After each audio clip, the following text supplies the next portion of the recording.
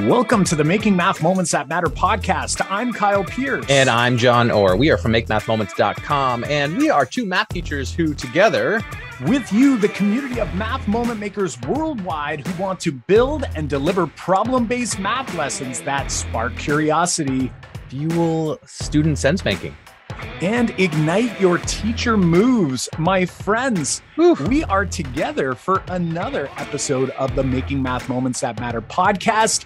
Today, you've got Jon and I, uh, where we're mm-hmm, going to dive mm-hmm. right into an episode. I, I I'm hoping it's going to be a shorter one today, but it it's something that's been on our minds right, quite yeah. a bit lately, right, Jon? Yeah, and it's actually uh, we get we get a lot of questions uh, about this because I think this is a common uh, a common issue when when teachers reach out to us they'll say you know like I, I i did i did one of your make math moments you know tasks from your website or i used one you know an old one that you you guys had shared a long time ago.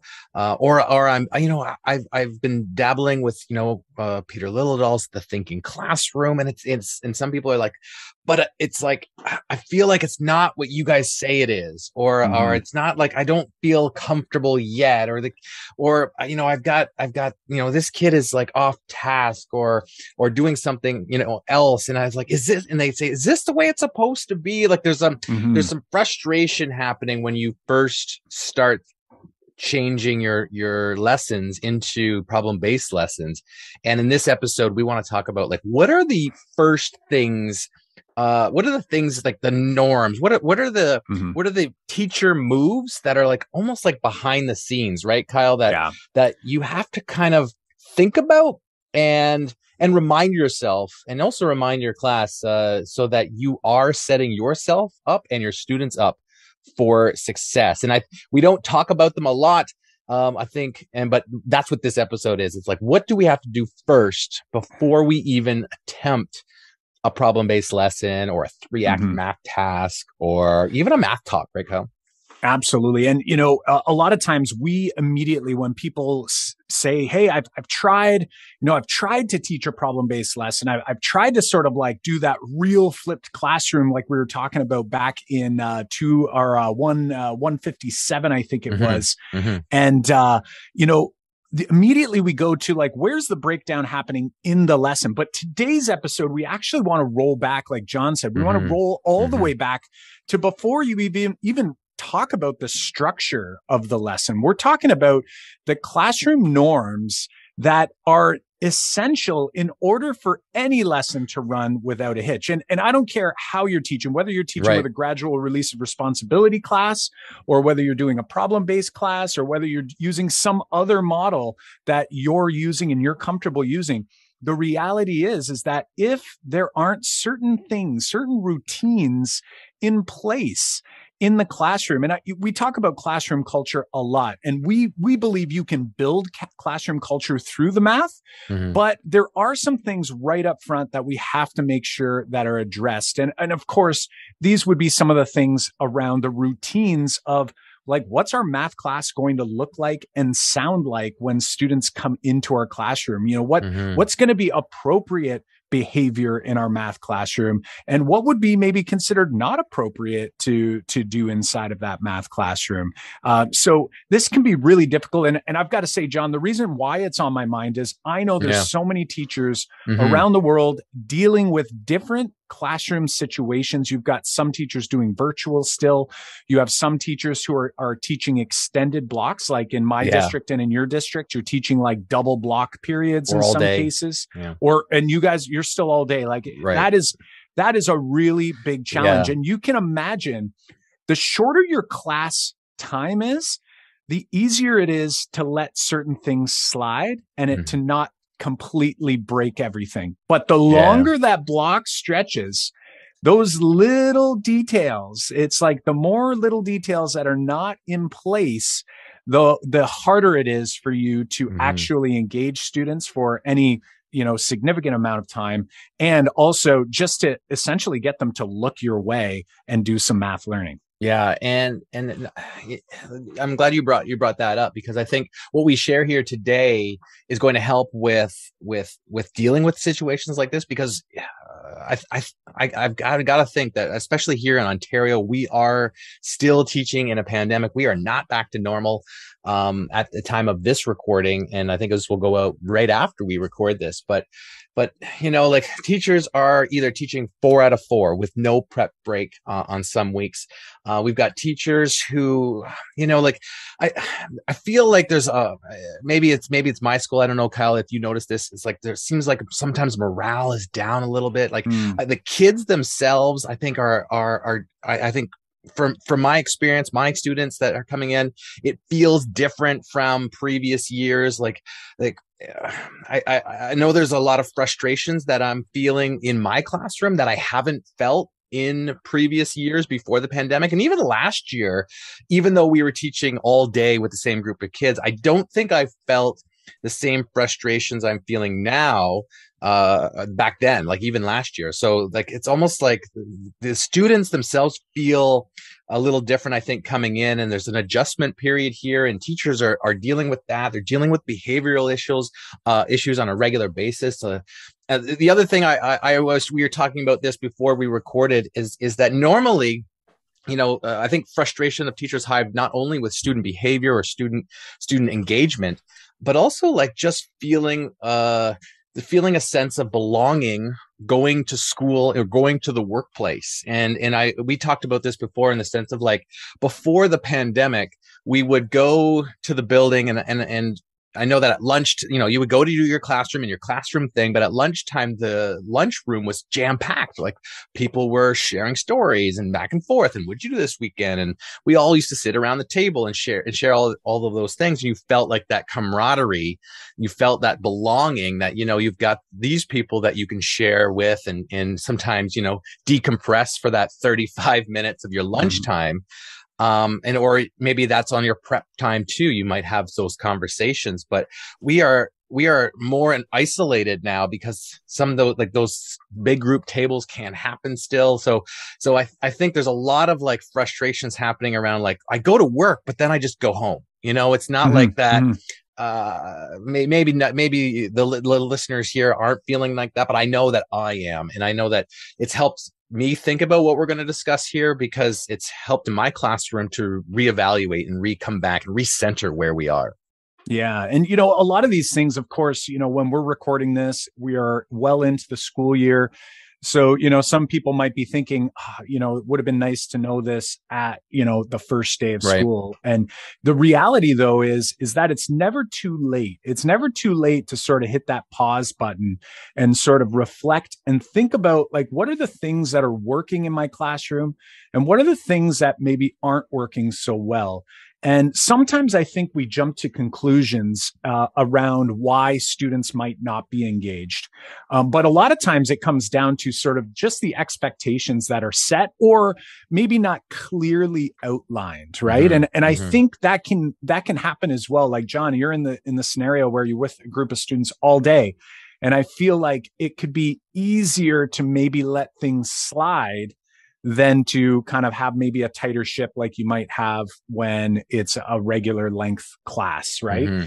And the reality is though is that all of these little pieces sort of add up and or you know you can almost say you know subtract away from the effectiveness of whatever it is that you're going to be doing in the classroom and mm-hmm. you know i've been mm-hmm. in a lot of classrooms something i've noticed and this is just a general observation is that students to me you know having you know been working with teachers mostly virtually last year this year i'm back working in in schools with students and what i'm noticing is uh, a, a big difference between just the the general accepted use of cell phones, for hmm. example, hmm. in the classroom, just in general. Like, and, and I'm just seeing it, and and I I'm this isn't a, a blame teachers thing because I think it has a lot to do with the fact that students for more than a year in some cases were right. online left to their own devices literally and you know had that had that phone there the entire time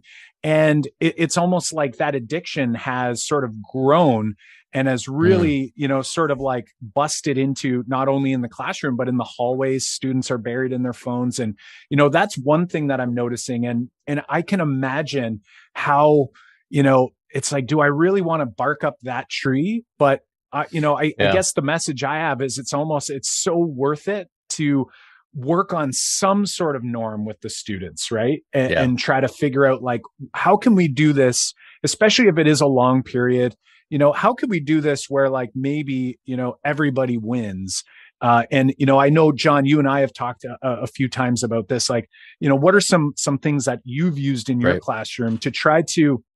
Again, I would say this one is like it, it's a huge gatekeeper to student engagement, right? If like if that phone's there, it can be really challenging no matter what you do in order to bust through whatever it is that they're thinking about in that phone right right right yeah and so so i guess this comes out to the the, the big uh, message we want to share in in this episode is is the elements that go that go into your classroom design um, before you could attempt to do a lesson or the math talk or the problem based lesson or you know a would you rather or or, or any activity you're going to do in your class these norms have to be have to be set and then and then like you said kyle they can be revisited they can be retouched but that's that's really the message here in in what i uh, i've shared this i think in one one other episode before um, and actually we were trying to figure out which one it was and you know there's so we actually so have many. a lot and i couldn't find it um, which episode it was but really i feel like when i have discussions and, and recenter with my students because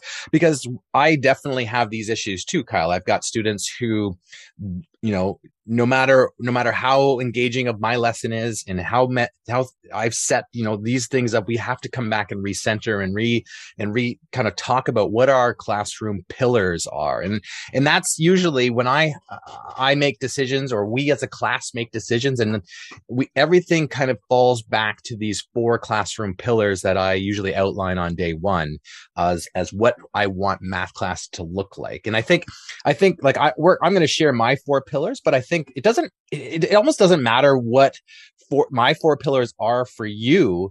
I think it matters what you should choose as good val like good values you want to see in your math class, right? So think about what do you want good learning to look like in your math class? And when you come up with that, what does that look like? Think about what are the what are the big things that I can always fall back on as any decision that gets made in the classroom versus you know the late policy the assessment policy the you know the norms about going to the bathroom and the cell phone use i you know policy like everything that gets made every decision that you make as a teacher or a kid makes in the classroom should fall back on these things that you want to you represent good learning.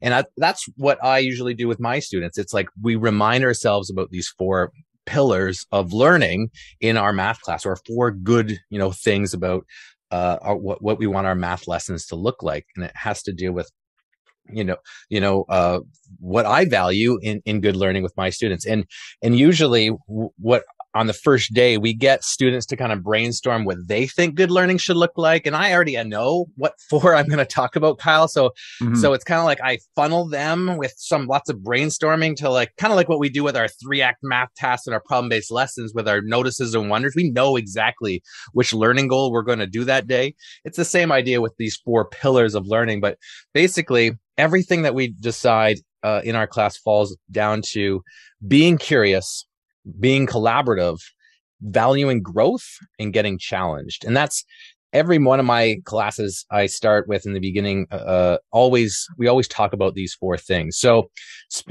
and, and our, uh, Kyle, our three part framework fit into these, uh, these yeah. four things for sure. Absolutely. And I love how, you know, something that I think is worth mentioning again is this idea of how you're essentially generating these norms from the student voice, right? Mm-hmm. And we talk about this a lot when we're doing a problem based lesson. We want the student voice to come through and we want them to feel like their voice is being honored, it's being heard. Well, the same is true in the classroom norms. There's kind of two ways you can go, right? And, and of course, everything in between. But one way is you come in and say, here's the rules, right. you know, here's the expectation, here's how this is going to go. And, you know, oftentimes, and I've been there, I've done that, you know, I, am guilty of that. I, I've sort of like, let's get the show on the road. Here we go. Here's how it's going to be. Boom, boom, boom, boom. And for some students, they're like, all right, they just, they come into line and, and, and that's fine. But for other students, they might not. And then the part that you don't get when you sort of just you know, lay it down. Here's how it's going to be. Right. Students often don't understand the why. It's just like math class, right? It's like Right. we want them to understand the why of the mathematics. Well, with these classroom norms, we want them to understand the why behind why we don't want the cell phone out. It's not just because I don't want you to have a cell phone or I don't want you to be able to message your friends. It's because it's interfering or it's distracting you from hitting one of our pillars. And, and Jon, I'll repeat Yeah. them. You said be curious, Yeah. collaborative, growth. It's everything is Right. about growing and Right. learning Yeah. I'll, and is a challenge, right? Yeah, I can elaborate a little bit more. I'll elaborate a little more. This is what I usually do with our students. Once once we kind of brainstorm, I'll I'll kind of like summarize where we are and and basically I always start with being curious with them to say to to remind them or, or or share with them that hey this math class is going to be maybe a little different than before because I'm going to all the lessons that we do eh, all the learning that we're going to do I'm going to rely on your curiosity because I think because curiosity is so important when you go to learn something think about things you've learned uh, maybe you you went down a path and you learned how to play the guitar. Maybe you learned about something else, but you were curious to do that. And so curiosity is like our, it opens the gates of your brain so that you can you you are receptive to learning. So I'm going to put you in situations where it sparks your curiosity. I'm going to rely on you to be curious about how to solve different problems. So we have a big discussion about why curiosity is super important, which does fall into our three part framework being sparking curiosity being one of the one of the big things there. And this the second the second piece that I stress a lot with my students is this collaborative nature. And that that kind of goes hand in hand with what we learned with Peter Liljedahl and his thinking classroom and his group work and his random grouping. But I I come at it with the students uh, in a in a sense that you are going to be collaborative. I'm going to put you in groups. I'm going to have you work with different students every single day because we need to feel comfort here in the room. We need to be if we're going to share ideas, if we're going to if we're going to strengthen our math understanding, you're going to voice those out to the class. In order for you to do that, you have to feel a comfort with the people in the room. And if you don't know them and you don't and you don't you know work with them then you won't feel that comfort. So we have to we have to work with each other on a regular basis so we will feel comfortable. And if and if we feel threatened in our room then we won't share and our brain will go into shutdown.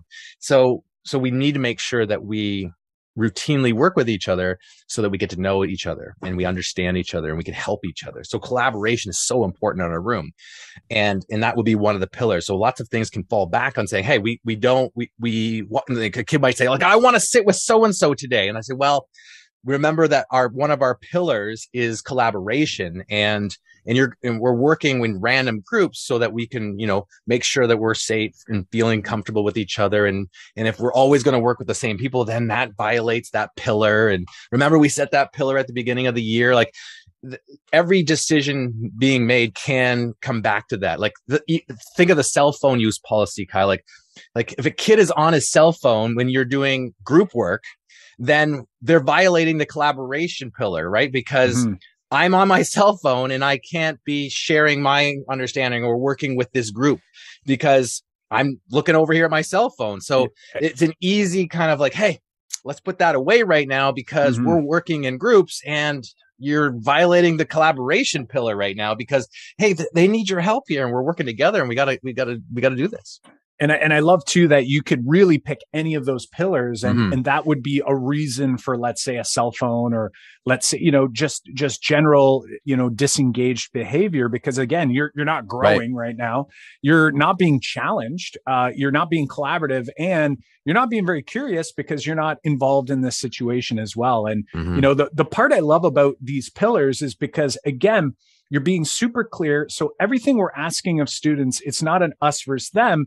It's a hey i just want to remind you Right. about what we were talking about. And you know this one i had a conversation with a teacher today about this very thing and it's the idea of growth and about students participating. And there's it's it's a fine line because i know here in ontario and many places you can't actually evaluate students on their participation. I know some places still do this uh, but here in ontario participation is not something that is uh, supposed to No. actually influence what do you mean your final grade yeah you what you mean kyle is like i come to class today and hey i raised my hand and i gave an answer and now the teacher puts a little check mark in the box that says Ex- five points to you. Exactly. So it's like, you know, you got these and and so like that was that was the old school participation. Uh, yeah. But with this pillar that you're referencing with with growth in the classroom, right. I was trying to help this teacher sort of bring this to light is that, you know, when students are in the classroom, they have to know right so again you're calling it pillars i said I, I i they have to know that i'm watching what they do in order to help determine where they are growing, where their strengths are, and where we might need to do more work mm-hmm. together. And what that means is that I'm using that as evidence of your learning. And we're not going to allow you to, for example, sit back and do nothing during class right. and then come and just write an assignment or, or write a test and you know maybe the student does really well on the test it's like but but you haven't actually shown me throughout the learning, right? Because one one snapshot test doesn't evaluate everything, right? I mean, I know oftentimes we overweight it, but ultimately it's like I want to see that growth. I want to see where you are and I want to actually give you credit for the growing that you're doing and the growth that you're doing through the different challenges, which is this fourth pillar that we're going to be giving you in the classroom mm-hmm. that, you know, we're not going to be sitting here. You're not going to sit back and sort of just copy things down and then do the work later to, yeah. to memorize. like that's not mm-hmm. what we're talking about here. We're talking about you doing the work together collaboratively, challenging yourself, getting right. curious about why things are happening and where they're happening. And we're going to bring that together and use that and make that the core of our classroom. And again, all of these ideas, while we talk about them in our three part math framework, the reality is is that these ideas are things that you can do regardless of the model that you're using or following right mm-hmm. these are these mm-hmm. are pillars that you can elicit from students but again you've got to be clear on them and i, I think that's one of the key pieces and yeah. messages from this episode is like we as the educator we have to know what it is that we want our students to be doing in our classroom, right? Like I know I don't like when they're on a phone, but what is it that I would rather them be doing right now? And, and if it's just like put it away and watch me, well, then I don't know. That's going to be harder to kind of convince a student of. But if it's no, no, I want you to be engaged in this problem that everybody's working on and, and contribute your voice, right. you know, that might be something that a student, you know, might not love the idea at first, but ultimately they could, they could see why you need to be a part of this class and, and of this discussion and not right. on your phone or not disengaged. Yeah. And, and, and I think it's important, like you, you said, is, is that it's sometimes you have to have the reminders. Sometimes you have to like cycle back because because I know Kyle, like I do these on day one, and and I'm teaching grade nines right now, and and I've got you know I've got all various levels of grade nine. We're we're in you know an open an open class uh, right now. Right, we went D tracking and and it, here in Ontario, which has lots of great advantages here. And, and I do enjoy this class, but the varying levels, you've got students who are like, I hate math class. Like they came in that way. And, and sometimes there's almost like you feel like there's nothing you're going to be able to do there. And I feel like when we have our pillar talk, and we had to do that this week, we had to cycle back to the pillar talk because sometimes students sometimes students and especially this happened to me a lot before i started to have the pillars talk at the beginning or the middle but it definitely helps when students are thinking that the math teacher is the enemy right it's like mm. i'm here because i have to be and then it's like i'm gonna like make sure i i don't really want to be here so i'm gonna try to like figure out how to get out of class or how I'm going to be, how do I, you know, I'm going to hide my phone under like, like when I have the pillar talk with that student or, or the, or the group of students or, or whole class sometimes. Uh, and I try not to do the whole class uh, all at once on these, on these kind of talks. It, it, sh- it shows, it, sh- you know, I think it reminds that student that says like, I'm not the enemy. Like I'm, I'm here because I care about these four things. And we always said that, right? Like everything mm-hmm. that I've done in this classroom is because I care about these four things for you, right? Like I'm asking, mm-hmm. I'm, I'm not asking you to put your device away because, because I'm, you know, you know, I'm a jerk and I'm just I'm the enemy and I'm trying to make your life miserable. It's it's because I want to challenge you and I want to like see your growth.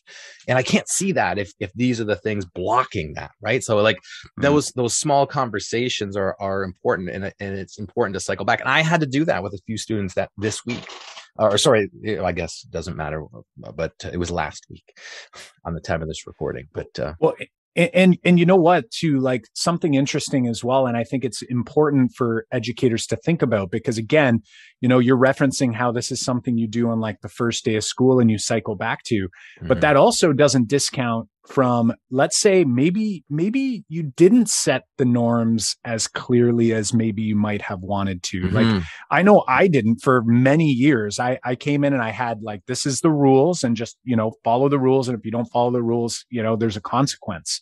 Well it, it's like that talk is different when you know if students aren't doing what you would like them to be doing you know there's just like this general you know like i said just like kind of a general disengaged behavior happening in the classroom where it's sort of like they're there because they have to and you know they're going to like do you know i guess like the the bare minimum of what you ask of them mm-hmm. it's like maybe maybe now's a good time to like think this through write down your pillars they don't have to be the same four that we've referenced right. here but I, I bet you they're going to have some sort of you know commonalities and maybe maybe do that brainstorm. Like it i think it's a worthwhile thing to do in the middle of a semester or a school year if mm-hmm. things aren't going well. Like you just you're just feeling like every lesson is like a struggle. And there's teachers out there who who have this or maybe you're a coach and you're listening to this or a consultant and you're listening you're going i work with teachers who are struggling with this idea. You know helping them to go you know maybe maybe we need to hit that pause button. Let's let's like ask the students like let's get the students talking about you know and asking them why like why is this a problem? Like why is this a challenge? And you know we i think about things as like productive or unproductive right? Like so so what's happening in the classroom right now that's productive you know? And you could highlight mm-hmm. some of those ideas. And then after like what are some of the things that maybe aren't so productive? And again productive to what I've, you've got to highlight some of those ideas that are you know really important to you. So get those out get the kids sharing what what what is good learning like what does that look like and sound like to them?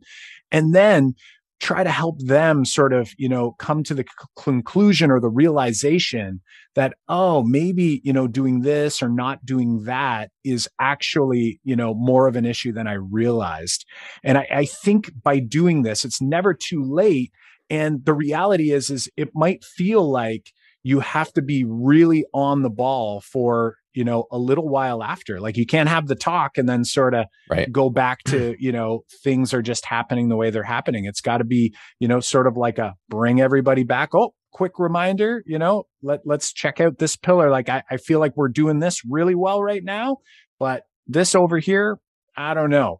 So ultimately at the end of the day uh, Jon, like we've talked about some of these things. And, and again, I'm hoping people are maybe nodding their head a little bit because again, sometimes we go a little too far into the lesson itself or, you know, my, my task wasn't mm-hmm. engaging mm-hmm. enough or something about you and the lesson you planned when in reality oftentimes it's something bigger than that it's something that you know we have to sort of like zoom out and like forget the lesson for a second and just kind of think about like how do we want this classroom running? How do we want these routines looking and sounding in our classroom? And if we can do that, and if we can sit and think with intentionality about what it is that you want to elicit from those students, mm-hmm. then you can have that conversation and start making steps in the right direction. Mm-hmm. Definitely, definitely. So uh, let's uh, let's wrap uh, some of the summary up here, Cal. So big takeaways. I think we want to re- remind here is uh, don't be afraid uh, to take that step back, like Kyle just said, and and reflect and, and pause and and rethink and and rejig if needed to.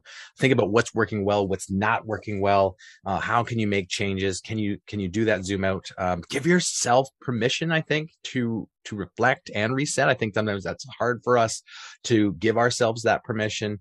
Um, and you know, you're not, you, you aren't a, a math moment maker because you're perfect.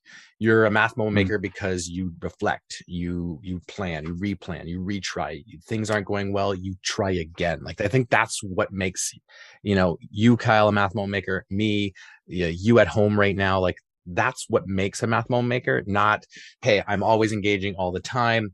It's because we try this and we have you know eh, we we make adjustments along the way and i think that's really what makes a great math moment maker Awesome stuff. Awesome stuff. Friends, as always, how are you going to reflect not only on your classroom and how things are running in your classroom, but how are you going to reflect on this episode? Uh, it kind of goes hand in hand here, right? So lots to think about after this particular episode. So have you uh, written these ideas down? Are you a sketch note artist? Uh, have you sent out a tweet or called a colleague?